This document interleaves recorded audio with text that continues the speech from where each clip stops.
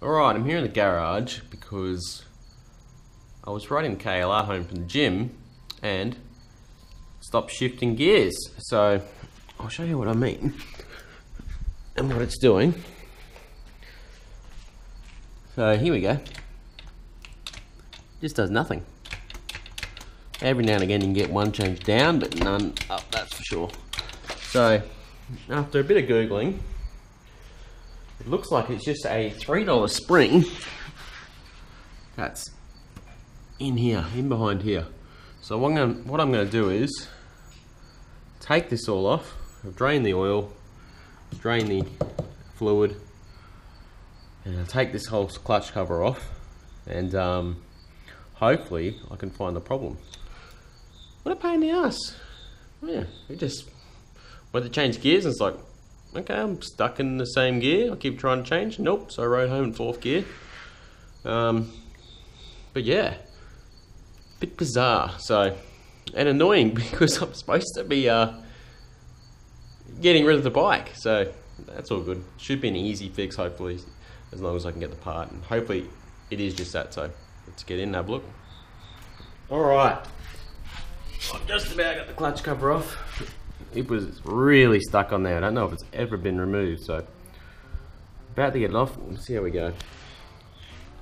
About there.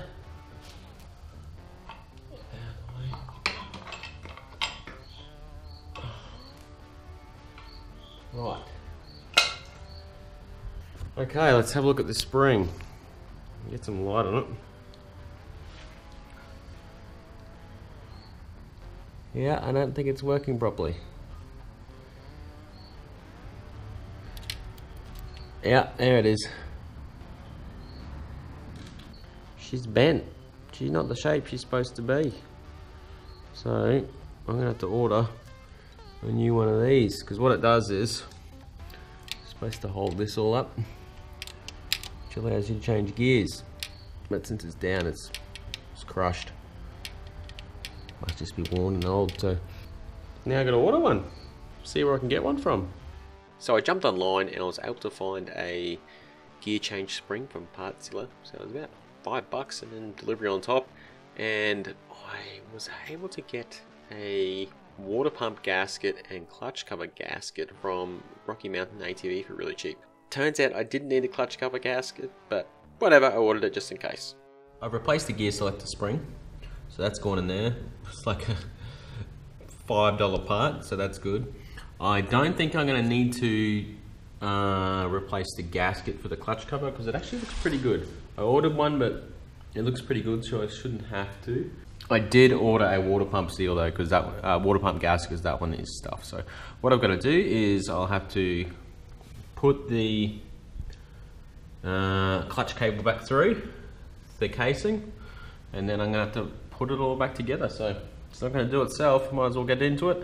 Uh, also cleaned out the this screen here, and it was full of shit. So that's probably a good thing I actually took it off and got it out because it was really dirty. So let's get into it and uh, put it all back together. Hopefully it all goes well.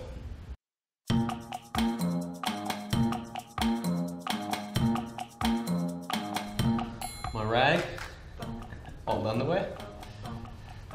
Hey, old clothes make the best rags. Right, so one thing I'm going to do is just, just going to tighten, tighten my two of these up so I can test the um, clutch to see if it's working properly. Dickhead me. Didn't put this back in. I just had one of the battles of the ages trying to get this bloody thing on. Oh, I couldn't get the old clutch to grab. So one needed to be under it like this and go in and that wouldn't and vice versa. So just took a lot of fiddling and eventually got it, but that was way harder than it should have been. But anyway, we've got to learn, let's put all the bolts on.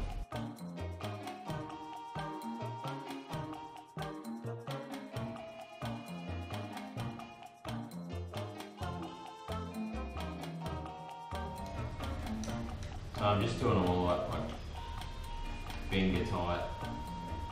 Then I'll do a rough cross pattern to them.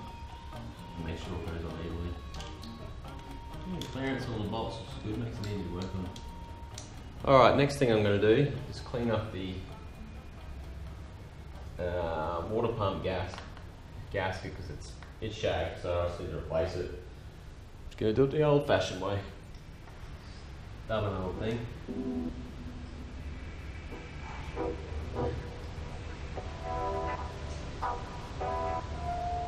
Alright, got the new water pump gasket, so I'll throw that on now as well.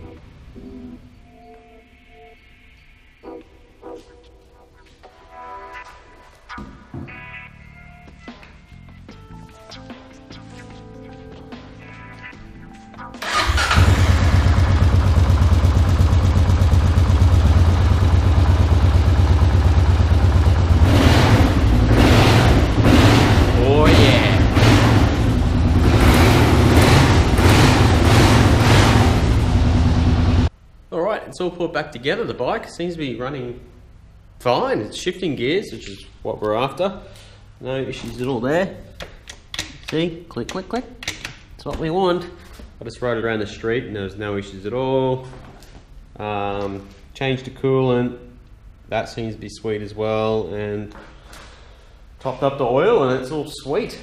So, actually pretty easy job all round. Like, I think anyone can do it as long as you get the tools. Like, I literally have a $20 toolkit I got from Har- Harbor Freight, so it was cheap as.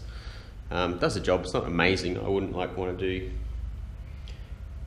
internal work probably with the stuff there. I do the valves and stuff, but not like a rebuild. It's fine. That's another story. Yeah, it doesn't seem to be any leaks here. See the new gasket here, no leaks at all. This fluid is from when I overfilled it initially. Um, yeah, that's that. So if your KLR isn't changing gears, first place to look is the gear selector. It costs it was a five dollar part with shipping. You know, it was like another six. I think it's like fifteen dollars total for the part. So the water pump seal was three dollars from um, Rocky Mountain ATV. So if you need if you need gaskets, definitely check out their prices because they are way cheaper than the OEM stuff. So I, have no affiliation with them. Just saying that worth checking out. Yep, that's the end of this little maintenance video on the KLR. I figured I'd do one because why not? I'm doing it anyway. The lighting in here is terrible. I'm so sorry. I changed the settings in the GoPro as best as I could. Um, all I've got is this light and my phone because the garage door is broken. You can see it doesn't sit square we're waiting for it to be repaired on our rental. Alright, enough rambling. Thanks for watching guys. Yous.